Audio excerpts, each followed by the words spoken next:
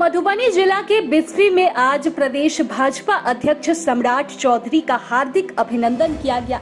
सम्राट चौधरी केवटी से धेपुरा पहुंचकर सर्वप्रथम दुर्गा मंदिर में जाकर माता की दर्शन पूजन किया। यहाँ पर कुशवाहा समाज के लोगों ने उन्हें मखाना की माला एवं पाग चादर से स्वागत किया। धेपुरा पहुँचते ही यहाँ पर पहले से पार्टी कार्यकर्ता उपस्थित थे, जहाँ से हज़ारों कार्यकर्ताओं गगन भेदी नारों लगाते हुए 10 किलोमीटर दूरी तय कर बिस्फी पहुँचे, जहाँ विद्यापति टू उच्च विद्यालय के मैदान में आयोजित अभिनंदन समारोह एवं जनसभा में भाजपा के प्रदेश अध्यक्ष सम्राट चौधरी उपस्थित हुए एवं जनसभा को संबोधित किए।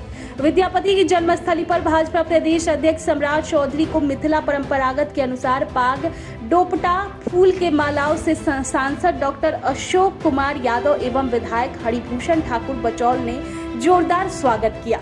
कार्यक्रम को संबोधित करते हुए भाजपा प्रदेश अध्यक्ष श्री चौधरी ने प्रधानमंत्री नरेंद्र मोदी के कार्यकाल को ऐतिहासिक कार्य बताया। उन्होंने कहा कि इन नौ वर्षों में भारतीय राजनीतिक और देश के विकास में कई महत्वपूर्ण परिवर्तन हुए हैं। ऐसे में कोई भी परिवार नहीं है जिस तक केंद्र सरकार की योजना नहीं पहुँची हो।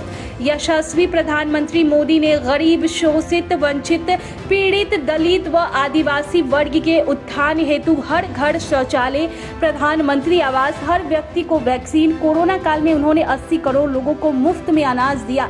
मुफ़्त में वैक्सीन दिया। कोरोना काल में गरीब भूखा न रहे। अंततः उनके जनधन खाते में मदद के रूप में पैसे भेजे और ऐसे बहुत सारे जन कल्याणकारी योजनाएँ हैं जिनका सीधा लाभ जनता को मिल रहा है। प्रधानमंत्री ने नौ वर्षों से देश की तस्वीर और तकदीर बदलने का काम किया है। उन्होंने कहा कि महागठबंधन की सरकार में अपराधियों और भ्रष्टाचारियों का बोलबाला हो तो जन सरोकार के मुद्दे स्वतः गौण हो जाते हैं। ये सरकार पूरी भ्रष्टाचारियों को संरक्षण दे रही है। नीतीश बाबू और उनकी भ्रष्ट मंडली जनता की गाढ़ी कमाई का दोहन करने में लगी हुई है। शासन और प्रशासन के स्तर पर भी ये सरकार पूरी तरह फेल है। उन्होंने 2024 में पुनः भाजपा की सरकार बनाने की बात कही।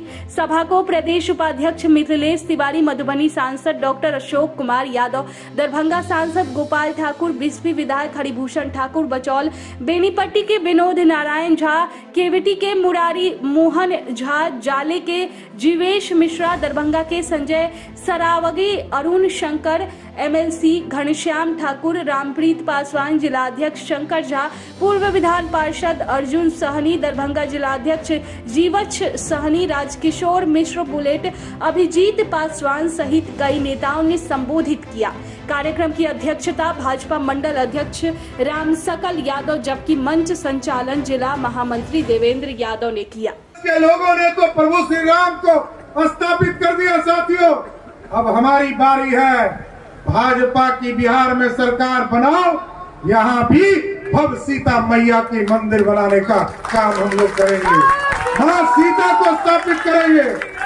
उत्तर प्रदेश ने उत्तर प्रदेश के सरकार ने, योगी जी ने भव्य राम मंदिर को स्थापित करने का काम किया सर प्रतीक है।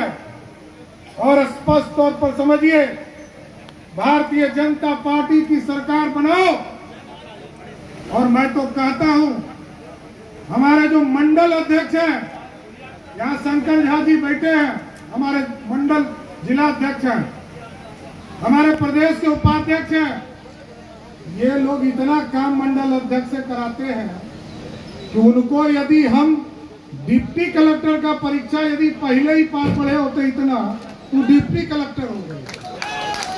इसलिए साथियों, हमारा नेतृत्व यदि तय कर दे कि बिहार में भाजपा का कोई मंडल अध्यक्ष बिहार का मुख्यमंत्री बनेगा तो मैं गारंटी देता हूँ, नीतीश कुमार से दस गुना अच्छा मुख्यमंत्री होगा एकदम बिहार को बढ़ाएगा और बिहार के समृद्धि की चिंता करेगा। अभी तो बिहार को बदलना है साथियों। बिहार में हुआ क्या? एक मेडिकल कॉलेज नीतीश कुमार बनाते हैं, पूरा ढिंडोरा पीटते हैं। काम कोई कर रहा उसका नाम है नरेंद्र मोदी की नरेंद्र मोदी जी लगातार इस देश में चीज़ों को बढ़ा रहे हैं साथियों।